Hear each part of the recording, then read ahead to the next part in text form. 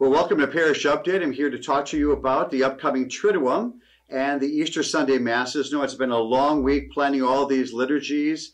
It's a highlight of the uh, liturgical year. We have a lot of volunteers who have stepped forward. I'm very grateful for that as your pastor. And know that many more of you are coming forward as, after you've gotten your vaccines and feeling empowered to come back to in person worship. I encourage all of you who haven't gotten your vaccines yet to please consider doing so just to give you a little uh, update on the times of the Triduum and the Easter Sunday Masses.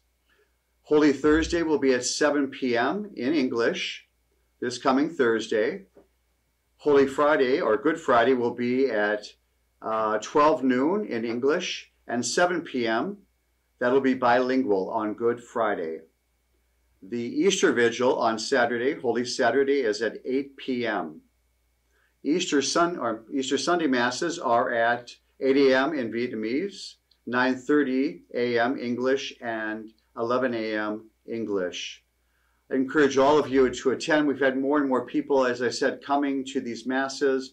Love to see all of you. Uh, we miss you, and we're encouraged by so many more people coming to our in-person Masses. Now, we're trying something new.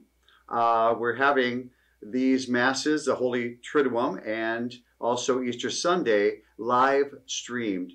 You'll receive on, you'll see on our uh, website an email with the links to all these masses I just mentioned.